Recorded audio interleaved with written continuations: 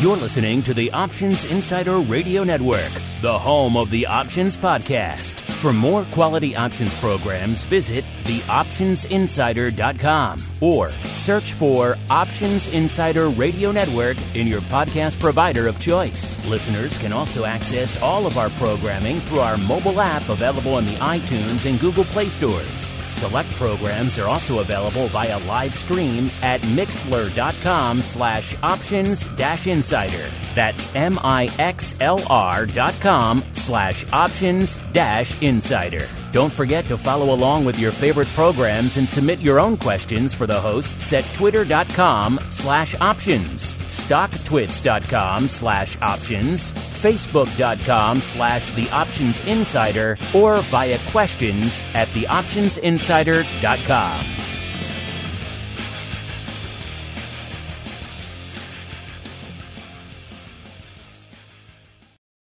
Welcome to the Options Playbook, the program where we break down cutting edge option strategies and explain how you can incorporate them into your own portfolio. Whether you're looking to grow your capital with some offensive maneuvers or protect your investments with defensive plays, you can find them all in the Options Playbook. The Options Playbook is brought to you by Ally Invest. Anything mentioned today is for educational purposes and is not a recommendation or advice. Options involve risk. Please refer to ally.com slash invest slash disclosures to review additional risks involved with trading options. Securities offered through Ally Invest Securities LLC, member FINRA and SIPC. Now, let's open the playbook and get started. Right, everybody. That music means it's that time again. It is time once again for Options Playbook Radio, the program where we break down all of the fascinating options plays that you can utilize in your own portfolio. Maybe we want to go on offense, a little bit of income, a little bit of speculation. We got you covered these days, given what's going on in the market. Maybe you want to play a little more defense. Don't worry. We got you covered there as well. My name is Mark Longo from theoptionsinsider.com, as well as, of course, on the ever exciting The Options Insider Radio Network. And if you're saying to yourself, self, what is that guy doing on this show? That's not his show. You are correct. So let me toss it over to your regularly scheduled co-host, aka the options guy himself, Mr. Brian Overby, the senior options analyst over there at Ally Invest. Mr. Brian, welcome back to your own show, sir. Well, that's great, Mark, and what a wonderful introduction. And I'm always happy when you can give an introduction uh, as wonderful as that one is, because that means that we get to answer some listener questions. And uh, they've really been flooding in recently, from what I heard. So we almost have to do, maybe have to do an extra one or two on this session. But uh, whenever we get a chance to get together, that means that we're going to huddle up and answer some of these questions. The Huddle. It's time to huddle up and answer questions about your favorite options plays. Submit your questions via questions at theoptionsinsider.com, twitter.com slash options, facebook.com slash the options insider, or via the Trader Network at tradeking.com. All right, everybody. Time to huddle up. That's where Brian and I answer your questions. And Brian, you are correct, sir. I don't know if something's in the water, if we just inspired people with our last huddle episode or, or what it is, but we usually get a strong response to the show. But the last week, week and a half, it's been off the charts. People are really responding with a, a wide array of questions on a wide array of topics. So, Brian, you opened the floodgates. I don't know what you did, Brian, but uh, people, people are the floodgates are open and they are flooding through. Let's see how many we can get to. Let's start it off. Let's make it nice and easy. Let's start off with this one from Erik. Erik Norstedt. And if I'm pronouncing that incorrectly, I do apologize. Let's see here. He writes Options Insider. Well, hello. he says, I just listened to the OPR. See, look, Brian, OPR episode 272. What did I tell you? All the cool kids, they call it OPR now. You got, you got to get down with the system there, sir. Yeah, without a doubt. All right, let's get to it. He says, I just listened to the OPR 272 episode, and I had a question. When you say you want to, quote, do the entire trade at the midpoint for even, what exactly do you mean? Thanks. And by the way, The 272 episode, Brian, just to refresh your memory, was your recent episode you just did on a little bit of bearish downside on Uber, just to refresh your memory. So when you want to do the whole thing at the midpoint for even, what are you talking about, Brian? All right. Well, uh, first of all, let's just talk a little bit about the midpoint, um, especially when you're doing spreads, which, is more commonly what we talk about here on Options Playbook Radio. Uh, that means you got at least two legs or more in your options strategy, and when you do that, you, in order to figure out the bid and the ask, you got to do a little bit of math, and the, we like to call it actually the net mid or the net bid or the net ask because you're dealing with two or more options. So uh, the midpoint in general is the midpoint between the bid and the ask. And when you're talking about spreads, especially in underlyings where the market can get a little bit wide, um, example would be a great example is the S&P 500 index. Uh, it's such a high priced index that a lot of times you'll see artificially wide uh, quotes inside on particular option contracts. So when we look at that, uh, a lot of people, j- just to get a reference point, like to talk about the midpoint, and we then that gives you a, a, a placing. You're not leaning towards the ask. You're not leaning towards the the bid. You're just at the midpoint. So if we get a midpoint fill for even, that's another term that is used in order entry. That means we're just doing it for zero. And on the Uber trade that we were looking at, we were selling a credit spread to pay for a out of the money, basically lottery ticket. So we sold a call credit spread on the upside to help pay for a way out of the money put on the downside uh, around earnings. And the whole goal was that we would get it done and it would not cost us anything but commissions. And getting it done for zero means that we're getting it done for even. And all order entry tickets don't have the ability to actually enter the word zero or the number zero as the limit price. They usually have a radio button or an ability to actually enter that trade at even. So that's where the vernacular comes from. So we were looking to do a three-legged trade last week, and we were hoping to execute the entire trade at the midpoint for even, and that would have been a great fill on that trade. Well said. So Erik, I hope that clarifies things for you. Again, a lot of times when when Brian is doing these episodes, it's after hours. Markets are a little wide, so even is a nice and certainly midpoint are are nice, safe places to help try to execute your trades. Again, it's more about the strategy and explaining exactly what the intention is and how you can utilize it rather than the exact price. And a lot of you guys get hung up. We had questions last time too about the exact price. Was it a 32 cent debit? Was it a 35 cent credit? That's not the exact spirit of it. We're really trying to more explain to you how you can utilize these. And again, a couple cents here or there, but worth noting, midpoint, always a good place to start when you're analyzing and looking to execute your trade. All right, Brian, we can't start. We got to keep rolling. All right, um, next up, We've got some great listener names on the show too. They they come from all over and they have great great spellings. it can't just be a John Smith, Brian. It's got to be it's got to be epic ones, which makes it more fun, more challenging for me to read all these. Uh, but let's see. Next up, we have Welch. Just an easy one though. Welch Kwong, and he wants to he wants to know about risk free trades through rolling credit spreads out and up or down. He says, "Good afternoon, Brian." Well, Welch is very very uh, very polite. I like it. He says, A "Huge fan." of your weekly podcast. I've asked a question before, and you guys were extremely helpful for your response and expertise. Well, glad to hear that, Welch. Uh, he keeps going on. I have another question, wondering if you can help. He says, risk free credit spreads. Let's say the infamous underlying XYZ, yes, very infamous, is at $50 on a Monday. And I sell a 60 65 call spread at approximately $1 expiring in five days, so on that Friday. I get a $1 credit. My risk is $4 potential max loss per spread. Yes. He goes on to write if I continue to roll a position out for a credit, rolling up, I don't think really matters for this question, but with enough rolling and credits to add up to $5, would that mean that the overall trade was at zero risk, not taking into account commissions?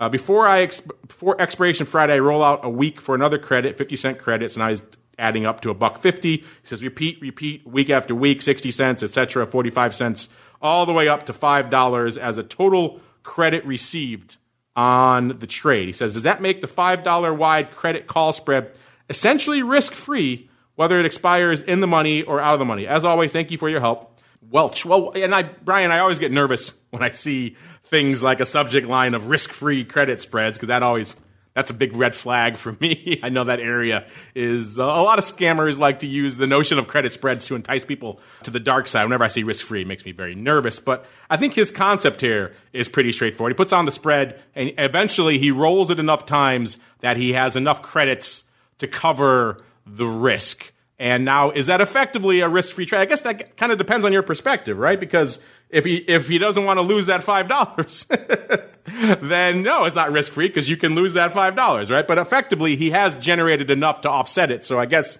if the worst would come to pass, he would be even on the trade. So I guess Brian, it's a very it's a very subjective question. Where, where do you fall on this risk free credit spread idea? Well, the the biggest thing to understand when you're rolling something, I don't care if it's a covered call um, or if it's a credit spread every time you roll, you're usually rolling because you're behind on the trade, because you're losing on the trade. So once you roll and you close the current position in your account, you're locking in a loss. So you need to pay attention to how much that loss is just over time. Like one time it might be 25 cents, the next time it might be 50 cents, but overall you need to realize that you are locking in that loss. And so in order to get ahead of the game, one of those credit spreads really needs to expire worthless. In other words, you got to be right at least once over this three or four times that you're doing this trade, or you have all that risk. Because what you've done is you've locked in a loss when you rolled, and now you got you could lose the max loss on the next credit spread. So if that was five points wide, I would have lost on the first trade, and now I'm going to have the potential to lose on the second trade. So keep in mind that when you're rolling, just because you're bringing in a credit, it doesn't mean that this is a profitable thing to do in the options world. And what this kind of reminds me of, and it just reminds me of being like at a blackjack table where everybody thinks that they can figure out the game because if you bet and you lose, all you have to do is keep doubling your bet until you eventually win. And that concept can work if you don't run out of money, if you have unlimited money, so you just keep but the still the whole point is there that if I'm at the blackjack t- table and I lose four in a row and I keep doubling, first of all I'm going to be putting up a lot of cash. Second of all, I'm hoping that they'll take my bet when I get down to the end of it because casinos get a little finicky when it gets a little bit bigger. And then bottom, I don't know how I know that, but with that being said, bottom line is I still have to have a winner to really make this trade profitable. And so I guess the moral to my story is is to really if you're looking at doing this type of trade, yeah, I guess it is feasible, but usually when it's all said and done, you need to understand that every time you roll, you are legitly locking in a loss on that initial position. Yeah, I think he's assuming that if he keeps doing it, it goes out worthless, so he sold it for a buck, he keeps the buck, and he does it again the next week. Maybe he kind of mixed his metaphors a little bit. A little bit. But the way we get asked this question a lot, Brian, is people have a cheap stock. Let's say it's an $8 stock, and they're writing 50 cent covered calls on it here or there, and eventually they, they add up enough credits that they get the stock quote unquote for free, right? That that's how they see it. Mm-hmm. I think I think Welch here is on a similar trajectory where he's like, if I get, if I sell enough, if I sell enough, yeah. that eventually it comes again. So he technically is correct, but I guess it depends on you know your definition of free, right? If you made all that money, you made five bucks. Do you want to give it away? I guess it, it, then, it, right. then then it's not really risk free, is it? So I guess it's that's why I said it's kind of subjective. And maybe Welch He's a high roller. Right, but, risk but the risk is still on the table, though, too, right? So if he rolls and he rolls that final one, he makes that five bucks. He could still lose on that last trade, right? Exactly. He could lose all that five bucks he made. So I think he's, right. seeing, he's seeing it from a net profit perspective. But yeah, the risk is still there. The risk is right. the risk is unchanged. Your your perspective on that risk has changed a bit. right because you're sitting on right. some house and, money. And I and I also think I think this is just such a great question, though. I I, I really do believe that a lot of beginning option traders, especially people, and you're right. This is more so in the cover call world, where they just think that if I'm bringing in a net credit on any of these rolls, that I'm not losing any money. And you know that's a major flaw. You, all of a sudden your account just starts going down. You don't quite understand why, but it's if if you just keep rolling and you have to keep rolling every time you roll, you're you're you're setting in a net loss. So if the market tanks on you on a uh, like say the stock goes down on a covered call position, you know you lost on that last position and you're still losing on the stock. So the risk is still out there because you have that position on. All right, you mentioned beginner options trades. It's a great segue into our next question here. We got a couple related questions, uh, so let's get to both of them together. First off, Bob Randall, he says, Brian, I have a 12 year old niece with a very bright mathematical mind that I am trying to get into options. I'm looking for either beginning games or age appropriate books or videos to teach her about options. I discussed this with my mentor, but he was not aware of any. I also have two editions of the playbook and thought I might reach out to you for any suggestions. Uh, he says his niece, his niece has been selected into a math academy. He goes on about the school district and things. He says, but math skills and statistics and probability will be among the classes she will take, along with calculus and other advanced math classes. Well, that's, that's a lot to take at 12. But she and I would like to get an early start on the options world. Any suggestions, guidance, or thoughts? Thanks, Bob from San Diego. And uh, we had a related question here, a shorter one, but more to the point here from Steven. Steven Patel wants to know Do I need to be a math whiz to understand this option stuff? Uh, so uh, interesting. A couple different approaches to this. It sounds like Bob's niece is, is very advanced on the mathematical side. So certainly it might make her more inclined to want to lead towards the derivatives route. I mean, the big D is in the name after all. So it does make them sound a little bit more maybe enticing to someone who's more mathematically inclined, but maybe Steven doesn't sound like he is. It sounds like he's on the opposite side of the spectrum, and he's maybe a little bit intimidated by the mathematical requirements for options. So, so Brian, set the table straight here for both Steven and Bob on behalf of his niece here. What do you really need to know about options, or should we, what do you know about math to really trade options uh, effectively? And what maybe for as a special segue here for Bob and his niece do you have any suggestions to help her get going on the uh, on the mathematical side of options at an early age? Well, I think that the as far as the math is concerned, um, especially from a retail perspective, I think it matters more that you just have a general grasp of option pricing and the math background that's behind it. Um, I do a webinar about option pricing, and I basically talk about how options are priced very similar to insurance products. And the math and all the variables that are in it, even the mathematical models. At one point in time, I was thinking about becoming an actuary actually, um, but then I definitely laid down until that urge went away. Uh, there were I think ten tests overall to become a full blown actuary that uh, get really deep into statistics. And my whole point is I didn't take all those those tests because when you're looking at the options world, you just have to have a general concept of it. And I do think that beginning option traders make a mistake in that they don't learn a little bit more about how the options are priced, how that time component is in the price of an option contract and how it's different than a stock. They just think that in general, cheaper is better. So why not pay less for that option as opposed to paying more? And usually that means that you're buying out of the money option contracts. So overall, I think you just really need a broad perspective on how options are priced. And in order to really understand that, you really need to know that options come more. Um, sorry, start that over. That options are actually priced more like insurance products than they are priced like equity or securities. And you need to understand that concept before you actually dive into even buying your first option contract. You need a general overview of it.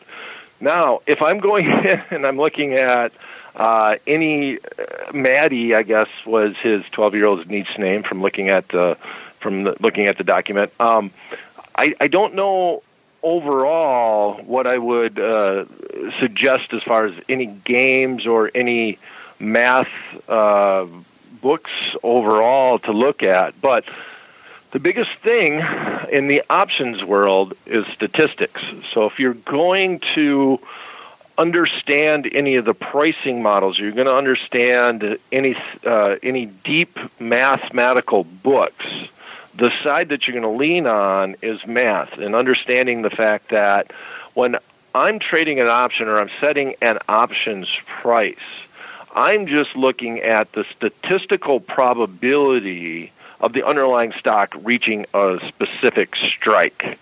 So if you really want to become a deep uh, on the floor market trader that's trying to figure out volatility more than price and doing that, well, then the the math that you want to reach out for is all statistical. But when you really think about it, as a retail trader, you should be worrying a little bit more about where that underlying stock is than all the mathematical models that are behind it. There is an old adage that you know what is what's the cost of this option contract is what it's trading for right now. And I've had a lot of people even call up, and just a little anecdote to finish with here. I've just had so many people uh, from my days of answering phone calls, you know, way back on the desk, way when I was much younger, where I'd have a retail client call up and say, well, I looked at the Black Scholes pricing model on this IBM option contract, and it says that this option contract should be trading for $2.50.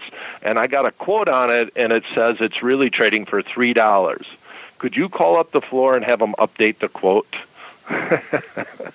so, you know, it really comes down to the price is what the price is. You need to worry about the strategy and getting the timing right overall. But yeah, I would just push people. I, I just push Maddie towards uh, statistics overall and statistics classes, and that's the the best thing that I can do. But I don't know of a particular software that I could say or that that would teach me option pricing just in general. Yeah, that's where the mathematics really comes into play, right? You mentioned the pricing models. You know, it could be the old you know, deriving the old Black Scholes or Cox Ross Rubinstein. There's a bunch of different models out there, binomials all sorts of different ways to price options. I think the good news for Steven is that you don't need to derive the Black Scholes model every time you make an options trade. I think if you have a basic understanding of algebra and indeed calculus, remember they are derivatives at the end of the day, so you have a, a basic understanding of how these derivatives work and how things like delta and gamma are impacted, and vega and theta, and all these fun things that we learn about in the Greeks and how they all work as a result of these various derivative equations. If you can at least wrap your head around that, then you you have a good starting point. Then from there, once you understand the concepts, you can trade and have a relatively firm grasp of the fundamentals. Now, it sounds like uh, Bob's niece, and by the way, congratulations, your niece, 12 year old, interested in options. I wonder where she's getting that from, Bob. My little guy's 10, and he, he, I live in the options world, and he has no interest. So clearly, you've been whispering in her ear there, uh, Bob. But yeah, you know, that early start, I think for her, it might be intriguing to start working once she understands, once she's taken these classes and understands, like Brian mentioned, statistics, obviously calculus, something. Once she's taken those, it might be fun to sit down with her. And you know, everyone's definition of fun is different, and it sounds like for her, uh, fun might be indeed, you know, deriving some of these formulas, understanding how things like Black Scholes work, maybe some of the the problems with a formula like that, which is why we have things like Vega, which is kind of the universal fudge factor for all of the issues that go on in the world of uh, Black Scholes and maybe binomials and which ones are more accurate and things like that. So if she's into that, and of course maybe some starter books on that front, the old the old standby of, of Natenberg, option volatility and pricing. I would hesitate usually recommend that to a 12 year old, but uh, sounds like maybe she'd be interested in that. That could explain to her. That's, that's the tome that all market makers were handed when you first walked on the floor of the CBOE. Said, here you go, welcome, you know, get your badge. Here's your options, volatility, and pricing by uh, Natenberg. That one is kind of, she can get that, start to understand things like skew. That will make her probably more comfortable understanding these concepts and then eventually getting into the trading world at the, at the, at the bright young age of 12. So uh, good luck to both of you. Bob, let us know how it works out. And Steven, don't be scared by uh, the math out there. Brian, I'll leave it up to you. Do you want to do another epic one or maybe try to find a quick one to, to close it out? Up to you. Yeah, we, I think we got a quick one, right? We have been going for a while. we have been going around. All right, let's see. Um, oh, here's a guy who sent in a quick question. I don't know if it's that quick, Brian. He wants to know, Charlie, Charlie C wants to know, what is the weirdest thing you've seen in the options market, sir? so uh, there you go. What is what is the weirdest thing in the breadth and scope? It's it's a deceptively quick. Maybe it's a little longer than he thinks. uh, what is the weirdest thing I've seen in the options world? Huh. Well, if I'm thinking about just in general, I, I don't necessarily know like an odd trade or anything that that happened um, in the options world that I could just think off of the top of my head. But one of the things that I think is even a hard thing for advanced traders to grasp is how volatility skew works in the options world. Like, uh, and I'll use the most simple example. If you're looking, at, especially after a, a, a big down day in the marketplace, if you look at the S and P 500 index, and you look at what the puts trade for equidistant out of the money to the out of the money call options and you just see how much more those put options are, especially in indexes like the SPX, which is used by a lot of institutional traders. Uh, they will really pay up for some protection in a big index like the S&P 500 index.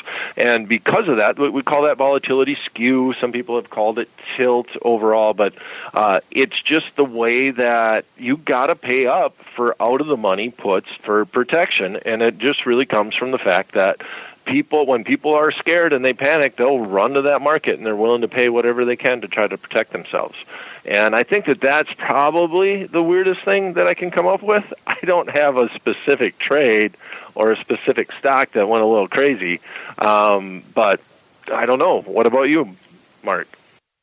Yeah, that, that's a good place. I might piggyback off that, Brian, because you're right. I, I, could think of a bunch of you know crazy things, a lot of dubious trades that went up when I first walked on the floor of the CBOE, and a lot of maybe lessons I learned from seeing those. But I think your point about skew is a good one, and I saw this personified in my face, very in a very interesting fashion. You know, the old timers and everyone used to say, the risk manager used to say on the CBOE, you always had to have some bullets in your gun, which meant don't be short, naked, a bunch of downside because you never knew what might happen. You want to have those bullets to fire when you needed them. And I saw this play out in dramatic fashion back in the go go days of the original dot com boom and Intel was one of the darlings of the street. And I was out there making markets in Intel. I'd moved from SPX to Intel. And they did a rare thing, which may be a sign of the canary in the coal mine. The bloom was starting to come off the tech rose. They pre announced bad earnings, and it was a disaster. Stock was off just through the toilet before I even got off the floor. Before the and by the time I got back the next day in the morning, it was only after hours. Was selling off dramatically. By the time I got back next day, you always knew it was going to be a crazy day because there was a bunch of traders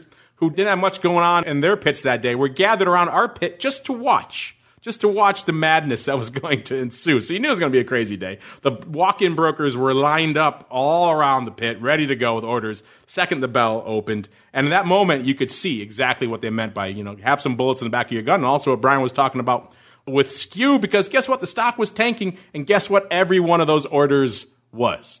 They weren't looking to buy calls. Nope, they were looking to buy puts. And they wanted to know what your offer was on XYZ put. And they wanted to buy them. They wanted to buy all of them. And as the sell off continued for a little bit, the, the bids increased, and then eventually the sell off kind of petered out, and that's when the bids started to come in. And for a while there, you could sell puts if you had the bullets to sell, and I fortunately did. I had saved my saved my bullets for that rainy day, and when it came, it was nice to fire them at extremely elevated levels of implied volatility, and that vol came crashing in the moment the sell off mitigated, and by the end of the day, the vol was not quite normal, but pretty close to it again. And those levels you had sold earlier in the morning it just seemed absurd by later on in the afternoon. So it was definitely uh, just a very stark reminder of how skew evolves, sometimes intraday, depending on how a crazy event plays out, and also maybe a little bit of risk management there as well. So uh, always Always keep those bullets in your chamber for days like that, or maybe days like today in the markets with the broad index off 3%. You want to have those bullets in the chamber ready to go. Well, Brian, we got more, but we got to kind of close it off there. Keep those questions coming, though. We'll have an, I think, I got a feeling given the volume of your questions that Brian and I are going to be doing this again real soon. So keep those questions coming. I promise we'll get to more of them soon. But Brian, if other folks want to join the party here, they want to be like Steven or Bob or Welch or Erik or all the rest of the crew here, uh, where should they go? What should they do, sir? Well, they can send me an email directly at uh, my email address that I've set up specifically for the show. It's called the options guy at invest.ally.com. That's the options guy at invest.ally.com. And I want to say to everybody out there, thanks for listening, and please keep your questions coming. Until the next time, we'll be back at the same time, same place next week.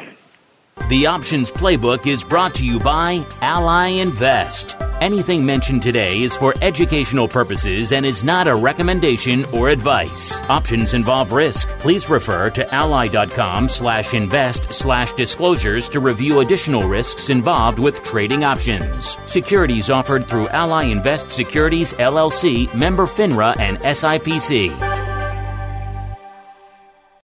You're listening to the Options Insider Radio Network, the home of the Options Podcast. For more quality options programs, visit theoptionsinsider.com or search for Options Insider Radio Network in your podcast provider of choice. Listeners can also access all of our programming through our mobile app available in the iTunes and Google Play stores. Select programs are also available via live stream at mixlr.com slash options dash insider. That's M-I-X-L-R dot com slash options dash insider. Don't forget to follow along with your favorite programs and submit your own questions for the hosts at twitter.com slash options, stocktwits.com slash options, facebook.com slash the options insider, or via questions at theoptionsinsider.com.